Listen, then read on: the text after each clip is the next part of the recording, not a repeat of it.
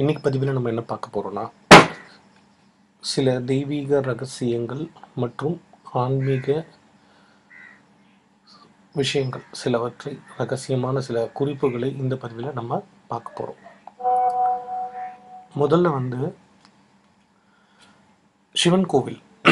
சிவன் கோவிலில் வன்னி மரம் வில்வ மரத்தை இருபத்தொரு முறை பலம் வந்து நமது குறைகளை சொன்னோம்னா நல்ல பலன் கிடைக்கும் தீர்ப்புகளும் சாதகமாக அமையும். இந்த மரங்களுக்கு நாம் கூறுவதை கூறுவதை கேட்குற சக்தி அந்த இருக்குதுன்றது ஒரு ஐதீகம். அதே மாதிரி ரெண்டு சர்ப்பங்கள் இணைஞ்சிருக்க போல இருக்கிற நாகராஜ சிலைக்கு வெள்ளிக்கிழமை காலையில் பத்தரை பன்னெண்டுக்குள்ள ராகு காலத்தில் மஞ்சள் குங்குமம் வச்சு செவ்வரளி பூ சாத்தி அபிஷேகம் செஞ்சிங்கன்னா நீ தீபம் ஏற்ற தம்பதிகள் பெயருக்கு அர்ச்சனை செய்ய செய்தால் தம்பதிகள் ஒற்றுமையாக அந்யோன்யமாக வாழ்வார்கள். குடும்பத்தில் தாங்க முடியாத கஷ்டங்கள் வந்தால் மன அமைதி குறைந்தால் அருகிலுள்ள ஆலயங்கள் சென்று தீபம் ஏற்றி வழிபடுவது ரிஷிகள் சொல்லிய பரிகாரம். சரிங்களா? அடுத்தது கொடிய கடன் தொல்லை இருந்துச்சுன்னா ஸ்ரீ யோக நரசிம்மரையும் மற்றும் கடன் தொல்லைகளுக்கு ஸ்ரீ லட்சுமி நரசிம்மரையும் வழிபடுவது நல்ல பரிகாரம் ஆகும். ஸ்ரீ நரசிம்மரின் எந்த கோரல் திரு திருக்கோலத்தை தரிசித்தாலும் கடன் தொல்லைகள் பில்லி சூன்யம் ஏவல் திருஷ்டி தருமண தடை விலகி நன்மை பெறலாம். ஆலய திரிசூலத்தில் குங்குமம் இட்டு எலுமிச்சை பழம் குத்தி வழிபட திருஷ்டி செய்வினை தோஷம் நீங்கும். வெள்ளை எருக்க விநாயகரை வீட்டு அறைகளில் கைக்கு எட்டாத உயரத்தில் வைத்திருந்தால் ஏதும் பூதகண சேஷ்டைகள் இருந்தால் நின்றுவிடும். சக்கரத்தாழ்வார் சன்னதியில் நெய் தீபம் ஏற்றி பன்னிரண்டு முறை நாற்பத்தெட்டு நாட்கள் சுற்றி வழிபட தொழில் வழக்கு சாதகமாகுதல் பில்லி சூன்யம் ஏவல் நீங்கும். இருபத்தி ஓரு செவ்வாய்க்கிழமைகளில் நெய் தீபம் ஏற்றி வழிபட கடன் வசூல் ஆகும். கொடுத்த கடன் வசூலாகிறதுக்கு பைரவர் சந்நிதியில் தொடர்ந்து எட்டு செவ்வாய்க்கிழமைகளில் நெய் தீபம் ஏற்றி சகசிரநாம அர்ச்சனை செய்ய வேண்டும். ஜாதகப்படி சனி பகவானின் பாதிப்பு குறைய திங்கட்கிழமைகளில் சிவபெருமானுக்கு பாலபிஷேகம் செய்து அர்ச்சனை செய்ய வேண்டும். சனிக்கிழமைகளில் சனி பகவான் சந்நிதியில் தேங்காய் உடைத்து இரண்டு மூடிகளிலும் மூடிகளிலும் நல்லெண்ணெய் ஊற்றி எள்ளு முடிச்சு தீபம் ஏற்றவும் சிவன் கோவிலில் காலபைரவரையும் விஷ்ணு கோவிலில் சக்கரத்தாழ்வரையும் வழிபட செய்வினை தோஷம் நெருங்காது. வெள்ளிக்கிழமைகளில் நவகிரக சுக்கிரனுக்கு அகல் விளக்கில் கற்கண்டு போட்டு அதில் நெய் தீபம் ஏற்றி வழிபட கணவன் மனைவி கருத்து வேறுபாடுகள் நீங்கும். பிரதோஷ காலத்தில் ரிஷபாருட மூர்த்தியாய் மகேசனை தேவியுடன் வழிபடுவோர் ஆயிரம் அஸ்வமேத யாகங்களை செய்த பலனை பெறுவார்கள். அதிலும் ஈசானிய மூலையில் ஈஸ்வரனுக்கு காட்டப்படும் தீபாரதனையை பார்த்தால் எல்லா நோய்களும் வறுமையும் நீங்கும்.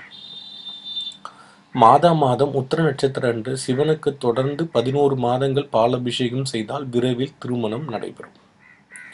கலியுகத்தில் காரிய சித்திக்கு து- வழிபாடு அதுவும் ராகு காலத்தில் செய்வது சிறந்தது. ராகு காலத்தில் கடைசி அரை மணி நேரமான அமிர்த கடிகை நேரமே சிறப்பான பரிகார நேரம். நெய் விளக்கு ஏற்றவும் உகந்த நேரம். ஞாயிற்றுக்கிழமை மாலை நான்கு முப்பது முதல் ஆறு மணிக்குள் துர்க்கைக்கு விளக்கு ஏற்றி வழிபட நாம் வேண்டிய பிரார்த்தனைகள் அனைத்தும் நிறைவேறும். வெள்ளிக்கிழமை காலை பத்திரை பன்னிரண்டு மணிக்கு ராகு காலத்தில் துர்க்கைக்கு தாமரை தண்டு திரி போட்டு நெய் விளக்கு ஏற்றி வழிபட தெய்வ குற்றம் குடும்ப சாபம் நீங்கும். ஹஸ்த நட்சத்திர அன்று சிகப்பு பட்டு துணி சாற்றி சிகப்பு தாமரையை பாதத்தில் வைத்து இருபத்தி ஏழு எண்ணிக்கை கொண்ட ஒரு எலுமிச்சை பழ மாலை சாற்றி குங்கும அர்ச்சனை செய்து அந்த குங்குமத்தை நெற்றில் வைத்து வர உடனே திருமணம் நடைபெறும்.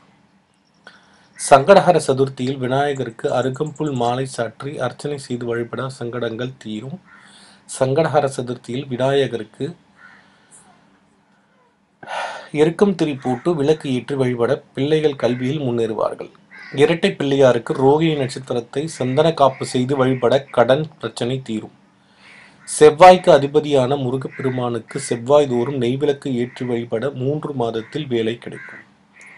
விபத்துகளில் இருந்து தப்பிக்க அவிட்ட நட்சத்திரத்தண்டு முருகனுக்கு கோவிலில் எலுமிச்சை சுருகி அர்ச்சனை செய்யவும். ருத்ராட்சம் சால கிராமம் துளசி வில்வம் உள்ள இடத்தில் இருந்து சுமார் பத்து கிலோமீட்டர் தூரத்திற்கு செய்வினை அணுகாது.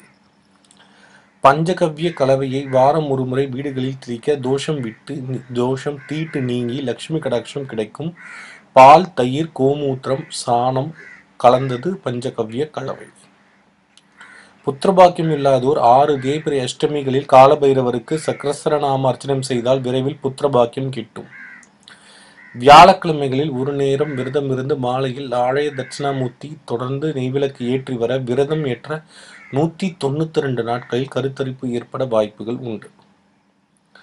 பெருமாள் கோவிலில் உள்ள கருடாழ்வார் சன்னதியை சுற்றி வந்து நெய்விளக்கு ஏற்றி வழிபட சர்ப்பதோஷம் கால சர்ப்பதோஷம் நீங்கும்.